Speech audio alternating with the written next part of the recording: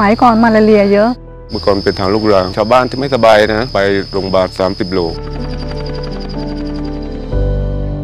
ดีใจค่ะที่พออสวมาช่วยเหลือประชาชนมาช่วยเหลือคนยากคนจนที่นี่ค่ะ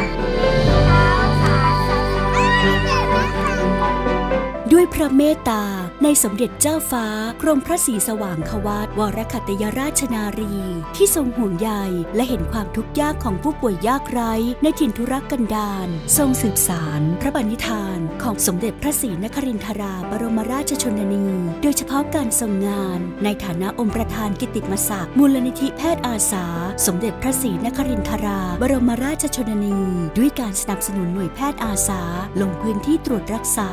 ส่งเสริม และฟื้นฟูสุขภาพอนามัย ให้แก่ประชาชนตามหมู่บ้านต่างๆ ในท้องถิ่นห่างไกลในทุกภูมิภาคพระองค์ทรงมีพระประสงค์ที่จะให้ประชาชนได้รับการดูแลในเรื่องของสุขภาพ มีความรู้ในเรื่องของการป้องกันโรคเข้าถึงบริการสาธารณสุขได้ดียิ่งขึ้นครับนับเป็นพระมหากรุณาธิคุณอย่างหาที่สุดมิได้ ที่พระองค์ท่าน ไม่ได้ลืมเลือนพี่น้องประชาชนที่อยู่ห่างไกล แล้วก็พอสวของพวกเราเนี่ยก็จะสืบสารพระราชปณิธานของพระองค์ท่านสืบต่อไปครับ ทุกคนมีความตั้งใจที่จะทำงานอย่างเต็มที่นะครับตามพระราชปณิธานของพระองค์ท่านห่างไกลแค่ไหนเราก็จะไปเดินทางยากลำบากแค่ไหน เราก็จะไป